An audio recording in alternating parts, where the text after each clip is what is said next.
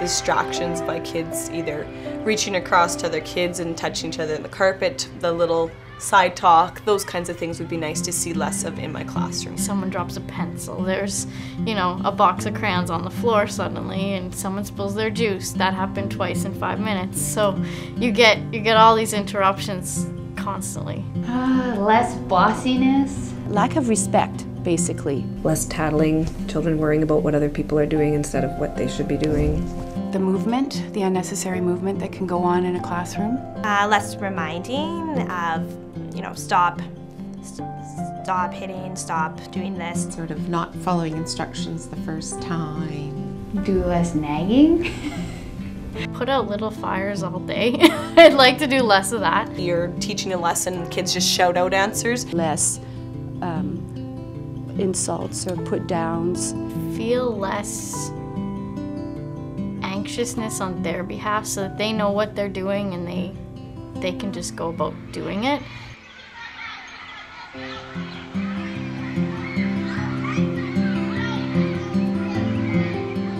I'd like to see the children more engaged, more excited about learning. I, I'd like them to be more focused. I love when they're happy. I would like to see my kids um, sustain focus for a longer period of time. There needs to be a purpose to everything you do, and the kids need to feel that sense of purpose. Everyone participating and involved without, you know what I mean, finding different ways to, the kid who maybe can only last a, a minute on the carpet, I still want him as involved as possible, but what other ways could I help him?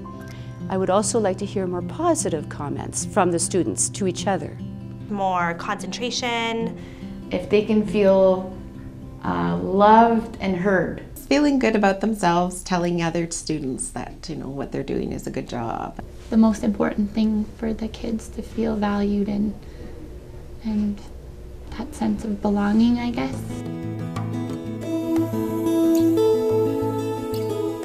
It's a game that targets kids' behavior and it gives them the kind of abilities to, to regulate themselves and look at self-control within a you know within an educational setting. Um, it's done through games and fun activities and teaching them some fun, cool words. A spleen would be if you are talking while I'm talking, if you're um, looking someplace else instead of looking at me, if you're um, playing with things or fidgeting, all those things would be considered a spleen. Good behavior or appropriate behavior is called PAX. Grade ones, before we do our reading today, can someone say, tell me, what a spleen is when we have reading time? What's a spleen during reading time, Rachel? Um, whispering to someone. Whispering to someone is a spleen during reading time. Yes. Reading out loud. Reading out loud. Where should you be reading, Lane? In your head. Right. And then if they're doing something and you ask them, is that PAX or spleen, they know right away what the behavior is. So they really like the language of it. By just putting that label on it, it becomes more meaningful rather than just having all these different things they can and can't do. They just know that's a spleen, that's PAX. Using their regular class time. So if they're working on their I know, writing activity, they're doing that while they're playing the game. We are playing a PAX game while we do this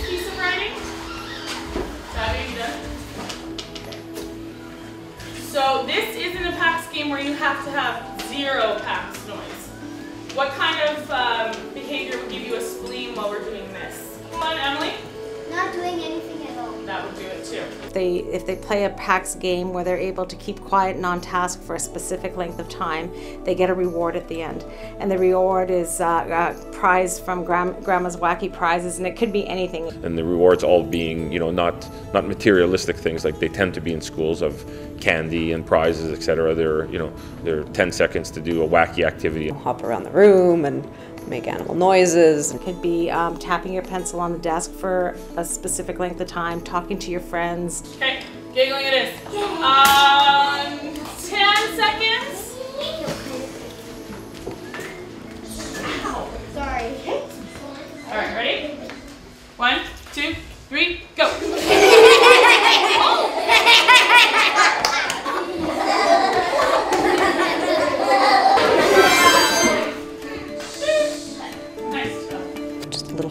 activity for 10 seconds, set the timer. okay, we're done. and then they're back to work. Even when they've been given a Granny Wacky prize for 10, 15, 20 seconds, whatever it is, um, they then it's stopped and we, we get back and it's back to focus time and stuff and I and I think I think that's a that's a great attribute of this of this game is the fact that um, students are learning to start and stop behaviors and hopefully in time controlling that start and stop ability. This morning we played a PAX game for 20 minutes in kindergarten. You can stretch it out where it's just so built in and so ingrained. Can you stand up here and show us what you do as a PAX leader in the hallway? Right, and what do you do with your voice? Don't talk. So what kind of voice do we call that? Zero. Zero voice, that's right. You see them walking down the hallway, and it's always you know, here comes our PAX line, and kids are good and they're quiet, and so that's that's visible changes that you can see for sure. Tootles are a piece of paper that um, is the opposite of a tattle. It's a tootle. And so it says the positive things that they're doing. I'd like to thank you for sitting quietly on the carpet while I was teaching. So I give out tootles that point out positive reinforcement. Um, I, the children give tootles to each other. Encourages positive behavior, positive interaction. We use sticks with their name on it so you can pull the sticks out of a glass. They never know whose stick is going to be called, so everybody's on task, always watching, always waiting. They want to play it all the time.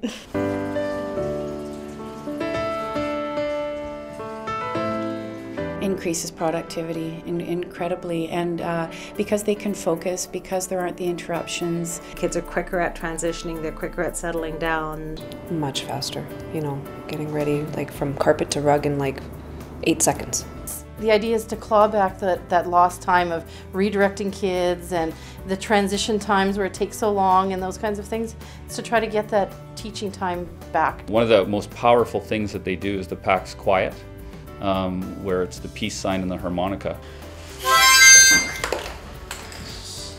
You guys played an excellent PAX game.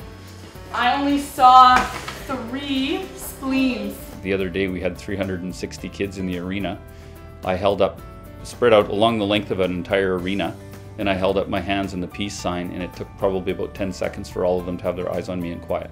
You know what, it's been amazing. It's been amazing how well it's worked with the kids and, and how they hear that harmonica and they stop whatever it is they're doing and they look to find where that noise came from and what do I have to do now. So They love it. They're so quick. Some of them do it before I, they see me getting the harmonica ready and they're doing it before.